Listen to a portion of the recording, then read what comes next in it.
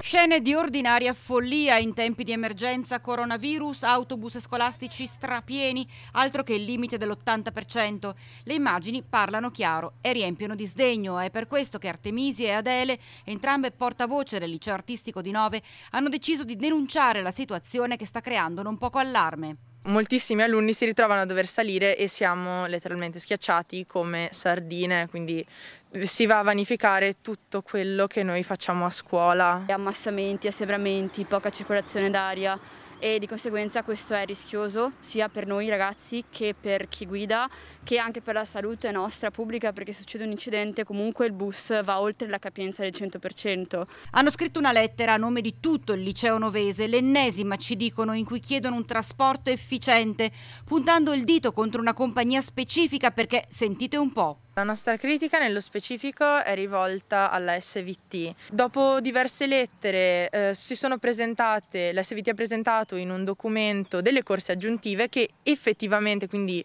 nel concreto, poi non passano. Ci sono queste corse, ma non sono reali e dopo questa noi ci siamo anche sentiti presi in giro e dopo questa volta abbiamo detto basta. Le corse aggiuntive ci sono, quindi solo sulla carta, di nuovi autobus neanche l'ombra, roba da matti è come giocare alla roulette russa.